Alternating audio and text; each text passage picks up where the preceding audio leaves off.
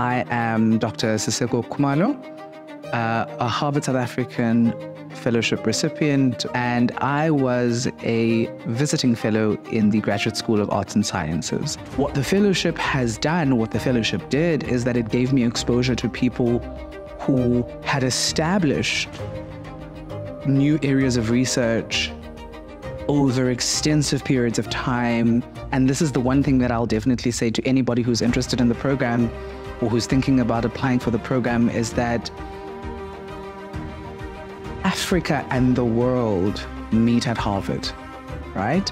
You don't have to go to the world, the world goes to Harvard. And I think that the Harvard South African Fellowship Program is a great space to be able to do that because it invites people, especially in its new iteration and even in its historical context, it invites people who have been historically marginalized in the context of South Africa. That's why it was in, inaugurated to read at a global institution with incredible resources and immense support.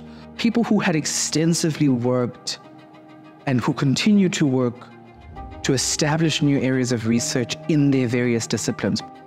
When the Center for African Studies awards this fellowship, they are looking for people who will bring a wealth of experience and knowledge into the community that is Harvard.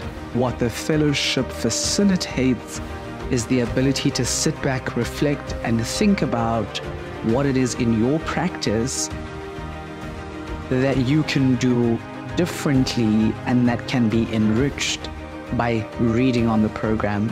I think that the program is so well positioned to give to the world through the folks it selects and through the people that come onto this program who deeply care about their country and who deeply care about the, the state of the world at this particular point, at the crossroads in which the world finds itself, who deeply care about that, to take that to the world and to dialogue and to see the humanity of the other.